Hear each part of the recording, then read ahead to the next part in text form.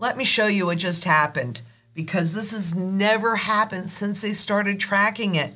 You know, we've talked many times over the years about yield curve inversion, which is when the lower rate, the shorter term rate, is higher than the longer term rate. And that's the rate that you get paid for, for holding this debt.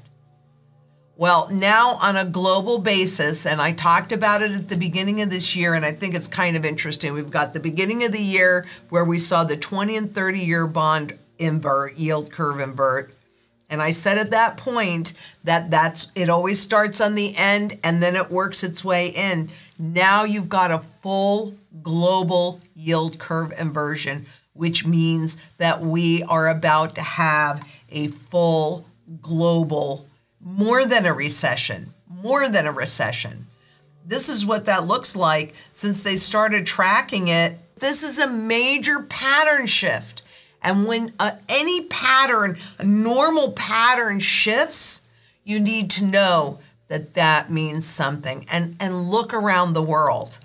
You can see all the chaos. They're setting up for the new system to come into play. Because what's really happening is that we are at the end of this whole big fiat money experiment. First time ever. That keeps me up at night, to be honest with you. I'm thankful that I'm as prepared as I am. Could use more preparation and more time, but the reality is we only have as much time as we have, and there isn't one person that knows exactly that moment. So I highly, highly encourage you to get ready now because a global financial crisis is coming our way. And that means everyone's way. And what do the central banks have to get us through this crisis? This, my friends, is all they have is money printing. That's it.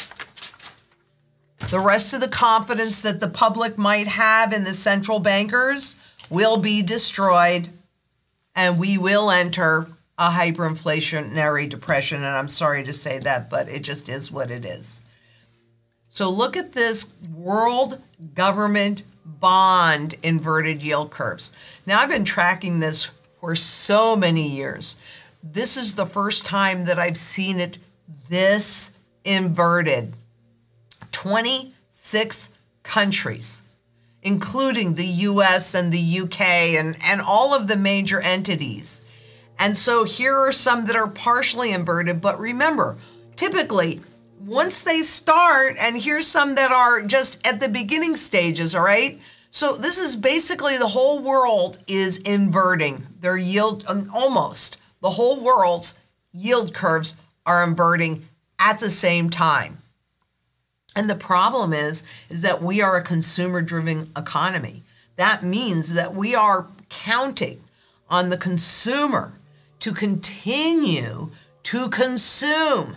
And if you listen to the talking heads on TV, what do they say? The consumers really held up so much better than what we thought that they were. And they've taken on a lot more debt to attempt to maintain a certain standard of living in the face of this inflation.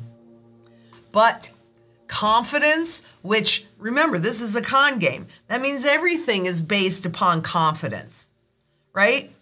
Consumer confidence, confidence that inflation, the Federal Reserve will be able to get inflation under control. Well, guess what? Both the level of inflation, the confidence that the inflation is going to stay low, as well as confidence that people are still going to have the incomes to continue to consume, have declined to a four month low. They're going to go a whole lot lower. I mean, you know, you can see it. But if 70% of the economy is consumer driven and the consumer can no longer consume, what do you think is going to happen? That's why it's a Jenga economy. I can't tell you which domino is going to fall first, but they they are already falling and it really doesn't even take you know, imagination. All you have to do is look around and you can see what's happening. And how do you think a desperate government might respond if they really feel threatened or they really get into a bind and nobody will accept their fiat money anymore?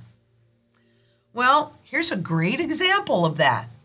Gold miner ordered to sell 20% of refined bullion to Ghana. And Ghana, the government, and Ghana is Africa's second largest gold producer. And they've ordered large mining companies to sell 20% of the metal they refine to the nation's central bank as the government embarks on a plan to barter bullion for fuel because the cedi, which is right here, that's their currency, has dropped 57% this year. It's in free fall. So, who wants to take it? Nobody. Now, you might be thinking, ah, well, that's Ghana, and that could not happen here. But historically, it has happened in the US. And even in 2016, it happened in India and Venezuela and Argentina and many, many, many other places.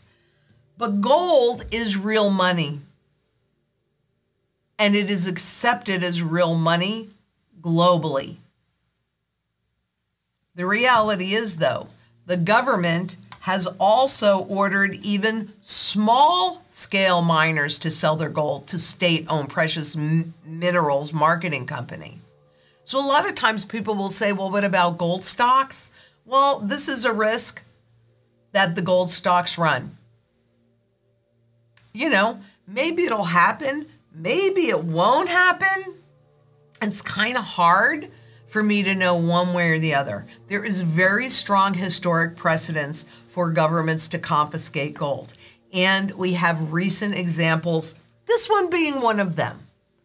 And it's hard for me to imagine while, and there's so many different ways that you can talk about confiscation or names that you can give it. I mean, are they saying we're confiscating gold in here? No, but it certainly looks like a confiscation to me because these gold miners are being forced to sell their gold to the central bank in the form of the cedi, the local currency with at the spot price, which is a contract that's easily manipulated without any discounts or anything else. So, do you think that by manipulating the price of gold over all these years, by getting you not to really want to buy gold, because after all, like we saw, you know, it, it's performance is actually better than anything else, but they don't talk about gold as, as if you should hold it.